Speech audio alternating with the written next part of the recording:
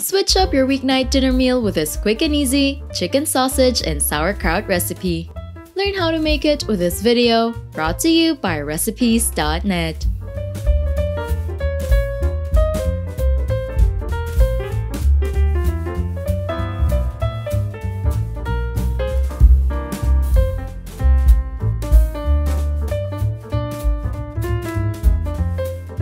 In a skillet, heat the olive oil over medium heat. Add the chicken sausages and red onion, then saute for 5 minutes until it begins to brown. Add in the carrots and sauerkraut, then stir to combine. Pour in the white wine, then add the ground black pepper and bay leaf. Bring to a simmer. Cover and allow the carrots to tenderize and the liquid to evaporate. Leave it for about 15 minutes but make sure to stir occasionally.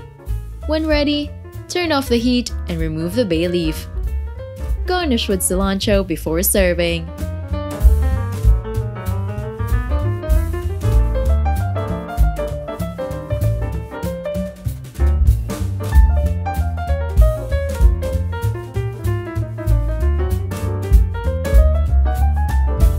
Don't forget to hit like, subscribe, and turn on that notification bell to catch more easy and tasty dishes to try at home.